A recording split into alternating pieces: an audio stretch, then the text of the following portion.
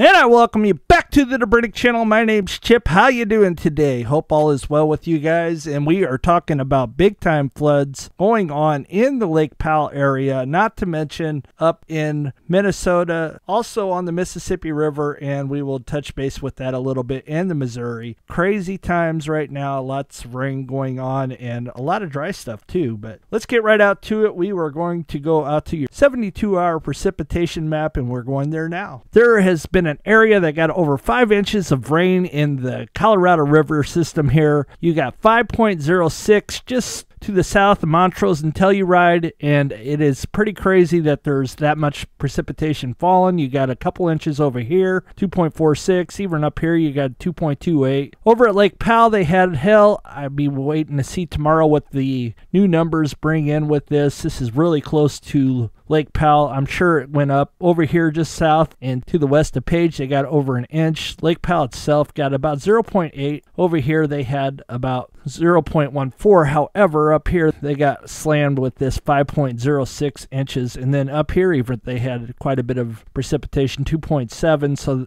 overall they received around 1.35. So this is really good news for the Colorado River system in general. Lake Navajo's right here. I'm not sure if this goes into the Colorado. I'm sure this is on the other side of the divide. If it wasn't though, they got 8.8 0.06 inches there. I think that's on the other side of the divide, but I ain't 100% sure with this map. It's not real detailed, but this is pretty good news, and there's more precipitation coming. You could receive another inch or two. Let's go out to windy.com and see what's going on. This is fantastic, but before we do that, Sioux Fall, they got 14.3 inches, and if you've seen any of the video, it's pretty crazy. Even up here, they got 9 inches. Wisconsin, this is going to be something we're going to have to watch. The Missouri River, the Mississippi River is in flood stage now now, and this is starting to remind me of 93. I live in Illinois in between Springfield and St. Louis, and 93 was like we were real dry as we are currently, but to the west was real wet, and that's what happened. But it was also wet in northern Illinois, it's not, so that's good news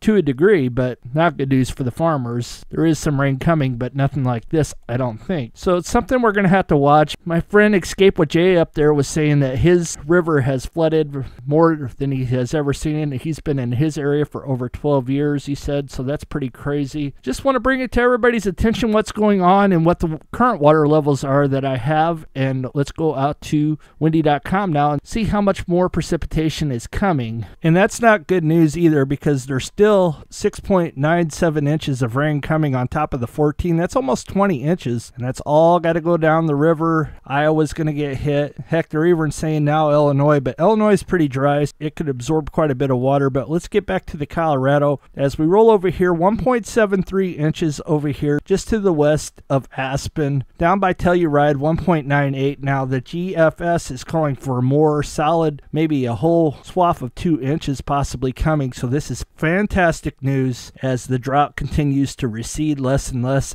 Every day it seems like we're getting a little bit more precipitation and it all adds up. I know that snow mainly is what is the driver of rivers rising, but any water source, doesn't matter if it's snow or rain, does ultimately have a role in the water system. And is any of this new snow? Let's check that out now. There is no new snow for Colorado, so this is just all rain, and this is all just rain. So we will see what happens. The Europeans a little more sporadic, as this is probably the more gist of it. There's a little bit down here for Lake Navajo, possibly maybe an inch. So you're talking anywhere between one inch to maybe just a little bit, you know. So it's it's all over the place. But overall, you could possibly get almost two to two to two and a half inches in spots. So something we'll definitely be monitoring. We'll be monitoring this if the river starts to get real crazy like it did in 93. We'll definitely be on top of that. So for all you people who like to watch the rivers come up and down, you are in the right spot. Let's roll out to Flaming Gorge and see what the Flaming Gorge is currently doing.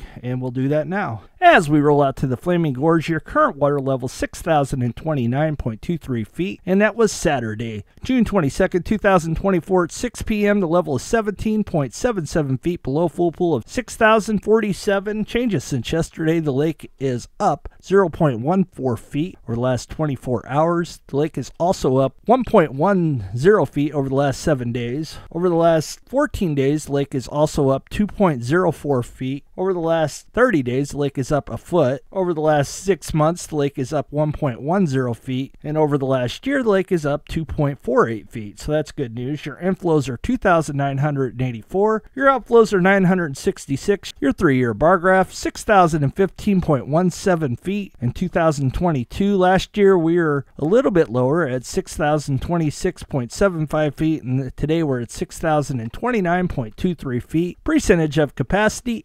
82.33%. Let's roll on out to Blue Mesa next. As we roll out to Blue Mesa, your current water level is 7,491.48 feet, and that was Saturday, June 22nd, 2024 at 6 p.m. The level is 27.52 feet below full pool of 7,519. Changes since yesterday, the lake is up 0.96 feet over the last 24 hours. The lake is also up 6.03 feet over the last seven days. The lake is also up 13.79 feet over the last 14 days. The lake is up 7.93 feet over the last 30 days. The lake is also up 0.25 feet over the last six months. However, the lake is still down 20.17 feet from one year ago. Your inflows are currently 3,687. Your outflows are 1,021. And we go to your three year bar graph, and your three year bar graph full pool 7,519. 2022, we're looking at 7,462.49 feet. 2023, 7,508.94 feet. 2024, today, we're looking at 7,488.35 feet. Record high, 7,519.64 feet. Record low, 7,303.90 feet. And dead pool is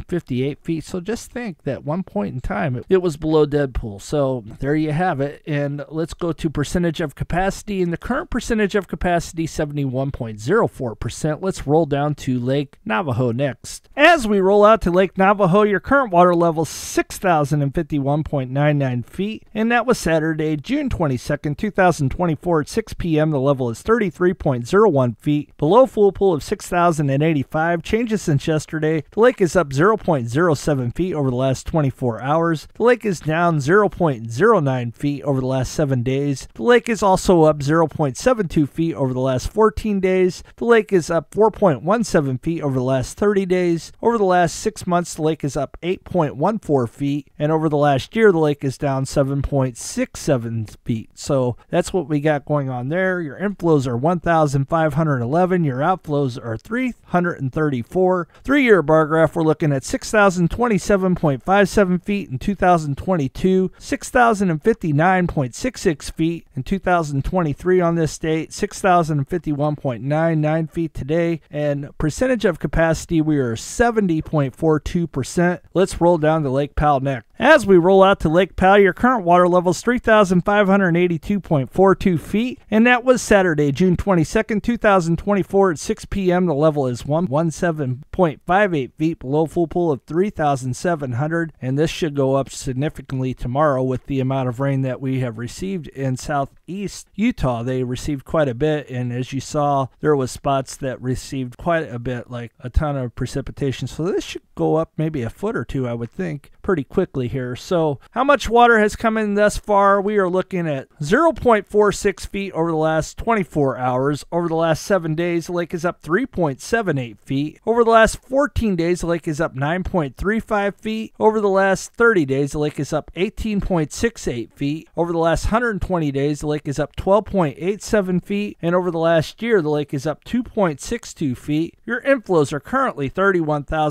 31,674. Your outflows are 10,850. And we go to your three year bar graph 3,538.83 feet. Last year, we're looking at 3,579.80 feet. So we're higher today at 3,582.42 feet. Percentage of capacity, we're almost up to 40%. We're 0.99% away from 40% at 39.01%. Down to Lake Mead, we go next. As we roll out to Lake Mead, your current water level is 1,063.62 feet, and that was Saturday, June 22nd, 2024 at 6 p.m. The level is 155.98 feet below full pool of 1,219.60 feet. Changes since yesterday, we are even Steven at zero, so it gets the up arrow even though it's really not up. Over the last seven days, the lake is down 0.89 feet. Over the last 14 days, the lake is down 2.19 feet. Over the last 30 days, the lake is down 4.79 feet. Over the last six months, the lake is down 4.43 feet. However, over the last year, we're still up 7.93 feet, so we will take that. Happily, inflows are 11,955. Your outflows, though, are 17,700. And we go to your three year bar graph 1,043.68 feet in 2022. Last year, we were 1,055.69 feet, and today we are 1,063.62 feet. So it continues to climb. We will take that trend. Hopefully, they start releasing water soon more down to Lake Mead, and hopefully that will help increase it some more. We will see ultimately by the end of the year, we'll have a better idea. Percentage of capacity 33.62%. So let's roll down to Lake Mojave next. As we roll out to Lake Mojave, your current water level is 643.58 feet, and that was Saturday, June 22nd, 2024 at 6 p.m. The level is 3.42 feet below full pool of 647. Changes since yesterday, the lake is up 0.01 feet over the last 24 hours. The lake is also up 0.60 feet over the last 7 days. The lake is up 0.80 feet over the last 14 days. The lake is up 0.63 feet over the last 30 days. The lake is up 4.44 feet over the last six months. Over the last year, the lake is up 0.32 feet. Your inflows are 16,045. Your outflows are 13,500. Three year bar graph 644.11 feet in 2022, 643.26 feet last year, and 643.58 feet this year. Percentage of capacity, we are currently at 94.57%. Let's go down to the final stop tonight Lake Havasu. Hope all is well. And Richard and B, I hope you guys are doing well. Supercharge, you are nowhere to be found. I hope you're doing well. If anybody knows where Supercharge is, that would be awesome because I haven't heard from them in quite a while. As we roll out to Lake Havasu, your current water level is 449.46 feet, and that was Saturday, June 22nd, 2024 at 6 p.m. The level is 0.54 feet below full pool of 450. Changes since yesterday, the lake is up 0.57 feet over the last 24 hours. The lake is also up 1.14 feet over the last 7 days. The lake is up 1.88 feet over the last 14 days. The lake is up 1.46 feet over the last 30 days. The lake is also up 1.76 feet over the last six months, and the lake is up 1.34 feet. And we go to your inflows are 13,960, your outflows are 11,100. Three year bar graph 449.04 feet, 2022. Last year we're looking at 448.12 feet in 2023, 449.46 feet in 2024. Percentage of capacity, we are 96.42%, the highest lake